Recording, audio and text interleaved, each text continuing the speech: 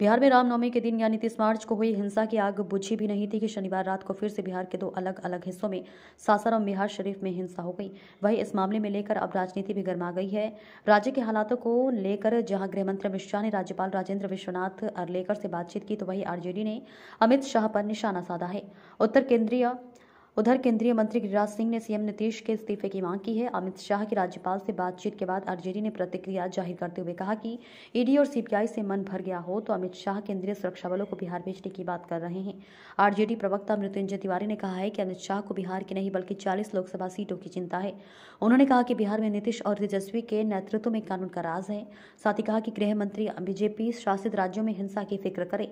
उधर केंद्रीय मंत्री गिरिराज सिंह ने सीएम नीतीश से इस्तीफे की मांग की है। उन्होंने कहा है कि बिहार में हो रही हिंसा की घटनाओं के बारे में उन्हें जानकारी नहीं है तो वह मुख्यमंत्री क्यों बन बैठे हैं। नीतीश अपने पद से इस्तीफा दे, क्योंकि बिहार पूरी तरह से बंगाल के रास्ते पर जा रहा है। बंगाल में जैसे हिंदुओं के साथ हो रहा है, वही अब बिहार में शुरू हो चुका है। बिहार में भी अब गजवा ए हिंद वालों का बोलबाला है। केंद्रीय गृह मंत्री अमित शाह ने रविवार को बिहार में सांप्रदायिक हिंसा की घटनाओं पर चिंता व्यक्त की और स्थिति का जायजा लेने के लिए राज्यपाल राजेंद्र विश्वनाथ अरलेकर से बात की। बिहार की जनता बीजेपी को वोट नहीं कर रही इससे वह बेचैन है। कांग्रेस के प्रदेश प्रवक्ता आशीष नाथ तिवारी ने विवादित बयान देते हुए कहा।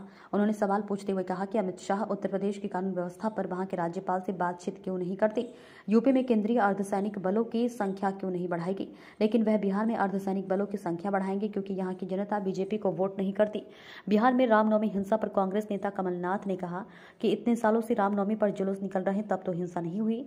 यह सब अब इसलिए हो रहा है क्योंकि दो हज़ार चौबीस का चुनाव नज़दीक आ रहा है।